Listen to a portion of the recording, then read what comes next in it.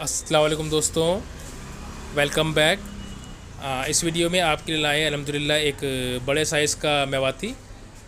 दोस्तों छः दांत फ्रेश हुआ है अभी, और अलहमदिल्ला फोर्टी वन के करीब इसकी हाइट है, और पचासी के जी लाइव बॉडी वेट है।